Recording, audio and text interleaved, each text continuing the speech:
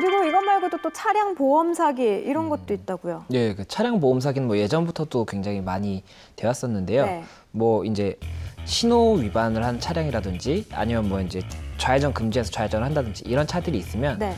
일부러 가서 박는 겁니다. 아, 예, 일부러 가서 받고 그 다음에 아 나 이만큼 다쳤다. 요만큼 정말 조금 다쳤는데도 이만큼 다쳤다. 차도 원래 파손돼 있던 건데도 이것 때문에 다 파손된 거다. 음. 이런 식으로 해서 보험금을 많이 이제 받아가는 형식으로 하는 사기가 있고 예.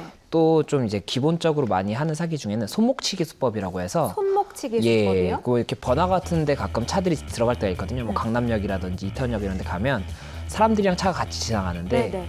사람들이 많다 보니까 차도 이 백미러까지 이렇게 계속 주의를 하면서 못 가는데 네. 굳이 여기에 자기가 쳐놓고는 아 나 지금 차에 치였다고 손목 쳤다고 예 근데 이거 뭐 손이 좀 부러진 것 같으니까. 얼마 받아야 될 것 같다 이러면 보험회사에서 금액이 작은 경우에는 뭐 대면 조사나 이런 걸 안 하니까 네. 그냥 입금을 해주거든요 네. 그래서 계속 그런 식으로 해가지고 예, 돈을 받아가는 수법의 사기도 있습니다.